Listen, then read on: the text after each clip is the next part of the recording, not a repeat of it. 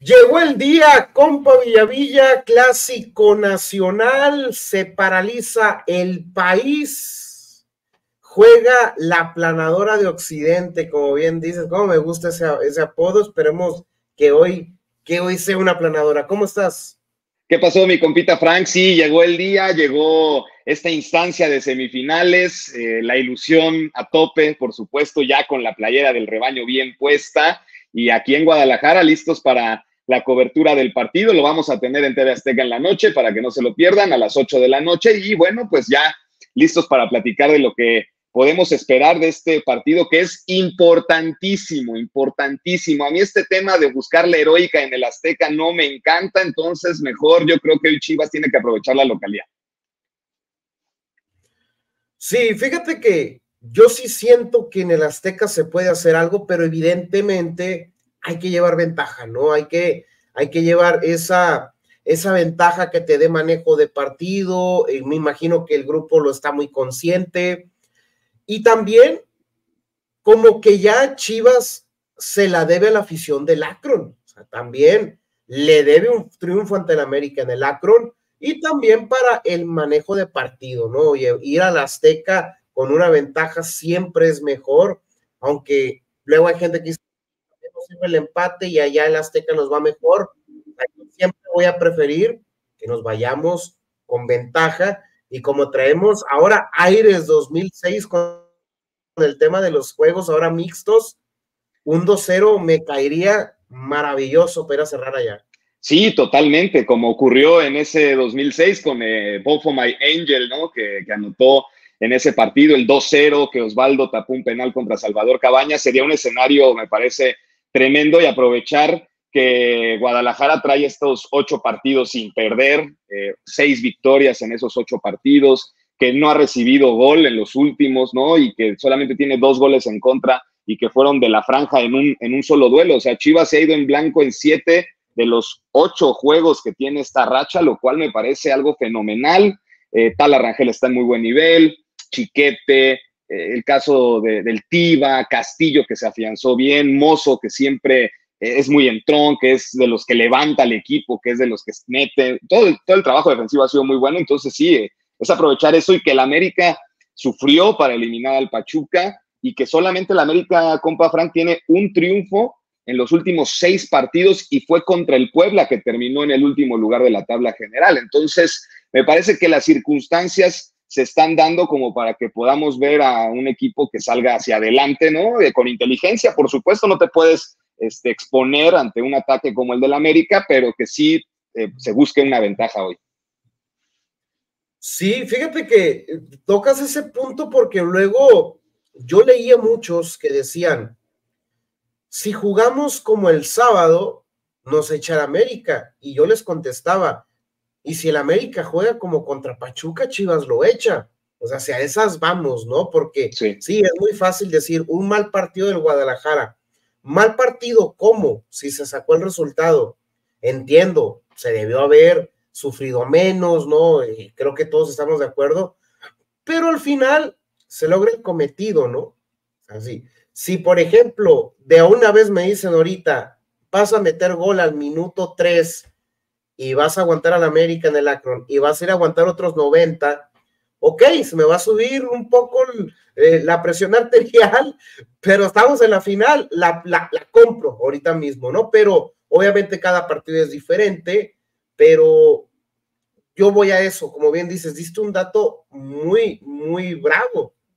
también el América viene así y si juega, también ahí es donde no, porque hay, gente que nomás como que quiere ver o el vaso medio lleno, medio vacío, ¿no? Veámoslo como va, ¿no?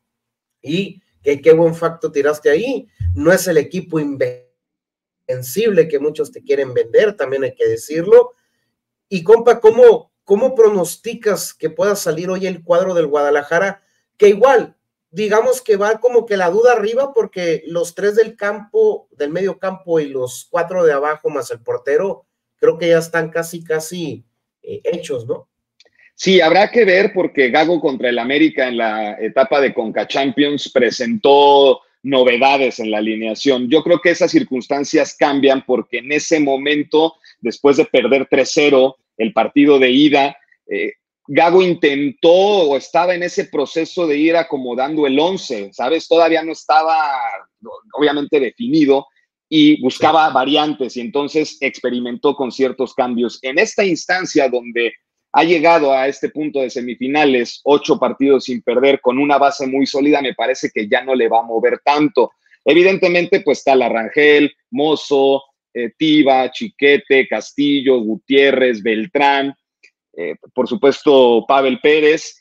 Y las dudas, y el Piojo Alvarado, las dudas son las mismas que teníamos en la vuelta contra Toluca. Si va a repetir el Pocho Guzmán de arranque y va a sacrificar al Cone Brizuela, o va a meter al Piojo Alvarado como interior y en el costado derecho, ¿no? Este, eh, al, Cone Brizuela, correcto. Y en el, en el, centro delantero, esa es la primera duda. Y en el centro delantero, pues Marín o Chicharito Hernández. Eso me parece que son las únicas dos dudas que tendríamos para este día. Eh, si a mí me lo preguntas, yo que, yo que pondría, yo regresaría al Piojo Alvarado a jugar junto con Beltrán y Gutiérrez ahí en la media cancha. Eh, abierto el Cone Brizuela y en, eh, de punta yo pondría a Ricardo Marín. Yo, yo voy con esa también. Está medio dividido. Por ejemplo, ayer en el Trabuco, por ahí gustaba más a Jesús o que, sintiera Pocho por acá. No que les gustara, sino pronosticaban, perdón.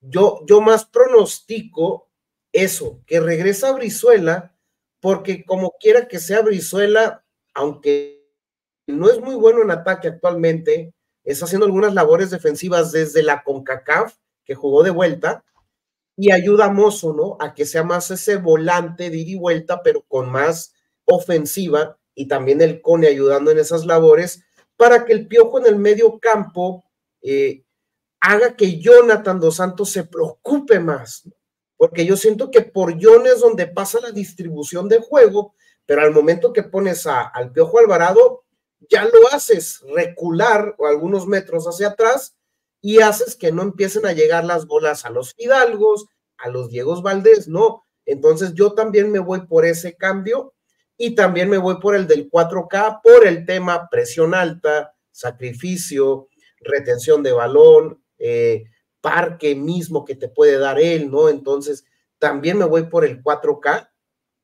Y Chicharito, por supuesto que lo veo teniendo minutos, pero me gusta más a como fue contra Toluca, que entra Chicha, que sabe muy bien moverse, esos despliegues que hace, desmarques y posicionamiento de, de cara a gol, con los eventualmente acarreos que puede hacer Kate Cowell en el segundo tiempo, y ver una jugada similar que ahora sí siento, Chicha la, la, la, mande a guardar.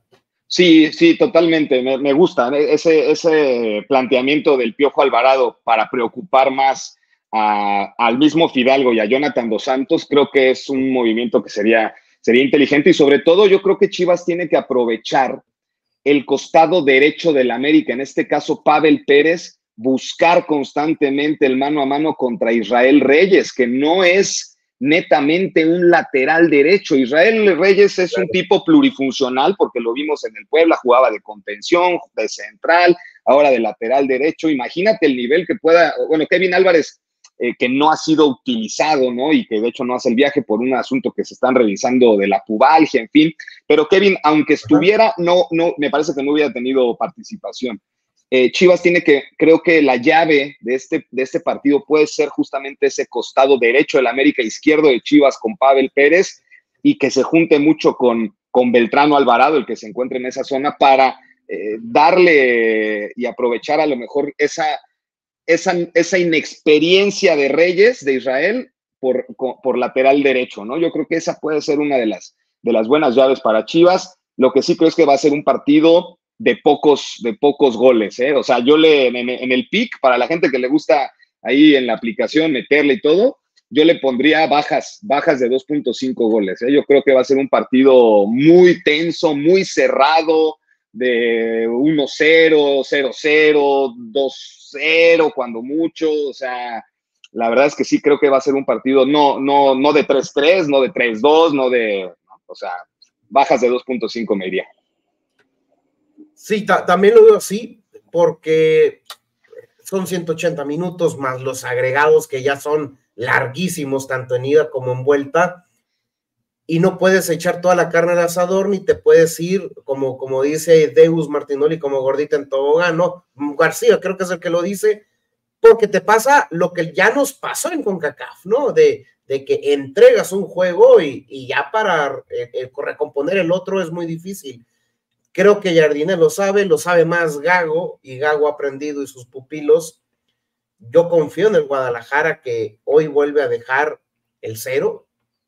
Si acaso entra uno, ok, pero Guadalajara sí siento lleva ventaja. Y te pregunto, ¿cómo, qué pronóstico, cómo crees que nos vamos para la Azteca el día sábado, compa? Pues mira, yo soy un tipo que en las coincidencias creo que hay, hay circunstancias que sí se presentan. La historia es un ciclo que se repite, por ahí dicen, y, y, por los argumentos futbolísticos y por lo que han mostrado ambos equipos, me parece que es válido pensar en un triunfo de Chivas hoy. Eh, me voy con el 2-0, me voy con el 2-0, creo que el equipo está conectado, creo que el estadio va a ser una fiesta rojiblanca absoluta. Eh, creo que la afición también está muy metida con el equipo, está ilusionada de nueva cuenta.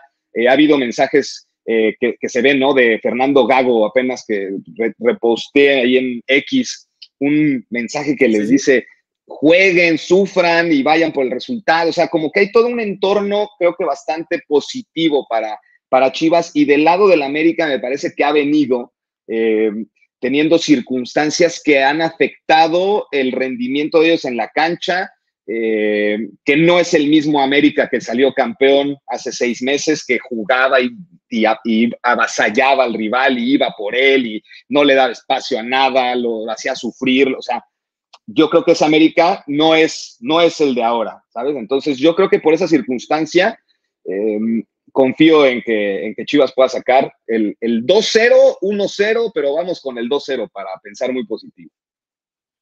Voy igual, voy igual porque veo al equipo mejor mentalmente, o sea, creo que ahí es la, la, la clave. No es que van confiados, no es un tema de que yo, yo me siento este, arrogante, digamos, no diciendo, no, es, e, es, un tema de que cómo viene con uno y el otro. Sí veo el Guadalajara más enchufado, más en lo que quiere. Lo noto con el hambre que ese América avasallador, avasallador tenía por tantos fracasos en busca de la 14. Ahora siento que esa atmósfera está de parte del Guadalajara, que saben lo que ya se perdió una final, saben que queda, han quedado ahí, ¿no? Entonces, ahora percibo ese ambiente por acá que anímica y mentalmente vienen mejor. Y eso en las liguillas, tú sabes que es parte clave. La calidad, por supuestísimo, pero la parte mental juega un papel importantísimo. La atmósfera del estadio también la, la noto a la gente con la, o sea, como comunión entre afición y equipo, como que estamos en la misma sintonía, los mismos sentimientos, sabemos a dónde vamos, qué queremos, y el estadio va a ser un hervidero, o sea, se, se, plasma, ¿no? Estuve viendo a la gente de la porra, ¿no? Que estuvieron 10 horas ayer en el Acron preparando algo que se viene y, vuelven los cánticos, el, el, estadio va a pesar, va a ser lo propio. Y pues, compa, yo me voy con el 2-0, 2-1, dándole el mérito suficiente y crédito a una gran ofensiva como la es de la, de la América, tal cual. Pero confío, confío en ese 2 a 0 y veremos qué pasa, ¿no, compa? Pero pues con todo, con todo, con todo y, y a ver qué pasa, ¿no? Así es, así es mi copita Frank. Así que bueno, pues va a estar bastante interesante. Reiterarles la invitación para que no se lo pierdan a las 8 de la noche a través de Azteca 7 va a estar Martinoli, el doctor Saguito Inmortal, David Medrano en la cancha. Yo voy a andar en el estadio haciendo la cobertura y el eh, sábado estaremos en eh, la cancha del Estadio Azteca. También lo vamos a transmitir la vuelta a través de, Azteca Deportes para que ustedes eh, no pierdan detalle de, los dos, de la ida y la vuelta. Y bueno, pues a, a seguirle soñando, mi querido compa Frank, que me parece se, puede pensar y es válido, la verdad, por lo que ha mostrado el equipo de Fernando Gago en las últimas semanas. Así es, compas. Ahí está TV Azteca, ida y vuelta. Qué agradable saber que la vuelta también eh, será, será ahí con ustedes. Y por el 3 de 6. Yo me retiro diciendo eso, compa. Vamos por el 3 de 6. Correcto, correcto. Es uno a la vez, como lo ha marcado Fernando Gago desde que quedaban cinco partidos para terminar la temporada regular y que parecía muy complejo que Chivas pudiera meterse directo, tenía que ganar prácticamente eh, eh, todos esos, esos partidos y lo fue cosechando uno a uno, trabajándolos, trabajándolos, sin importar si Querétaro o Atlas o Pachuca o Monterrey, se le ganó a, de todos sabores, de todos colores, se compitió bien y ahora en esta fase final a la mejor ofensiva de la liga se dejó en cero como era la del Toluca y creo que, bueno, pues esperemos que, continúe el equipo en esa, en esa buena marcha, ¿no? Así será, así será, compa, y pendientes a lo que siga eh, pasando en cuestión del Guadalajara y estaremos a tope aquí, mi compa Villavilla y yo en compa Rojiblancos. Gracias por habernos sintonizado. No olviden suscribirse a los canales. El compa Villavilla va que vuela rumbo a los 30 mil. Así que suscríbanse para que no se pierdan a tope. Y luego la cobertura que viene en su canal va a estar buena, ¿no? Va a estar buena, mi compa Franca. Así es, que se unan ahí al canal de Villavilla, ya estamos, como dices, cercanos a los 30 mil, y tú que ya pasaste los 200 mil, pues la siguiente meta deben ser los 210 mil, pero ese, este, ahí va también tremendo. Sí, sí, no, claro, y, ahí vamos, ahí vamos, la verdad es que cuando menos pensemos y recordarles que se viene mega sorteo en cuanto llegues a esos 100, que suena lejano, pero cuando menos pensemos, ya vamos a hablar, ay, ahí vienen las cuatro playerotas, ¿no? Así que suscríbanse, compas, que ya saben que sabemos cumplir. Aquí sabemos cumplir, cuando se dice algo, se hace. Y los sorteos nos avalan bastantes playeras y cosas que hemos regalado. Gracias por habernos visto, compa. Te mando un abrazo por allá. Abrazo, amigo. Estamos al pendiente.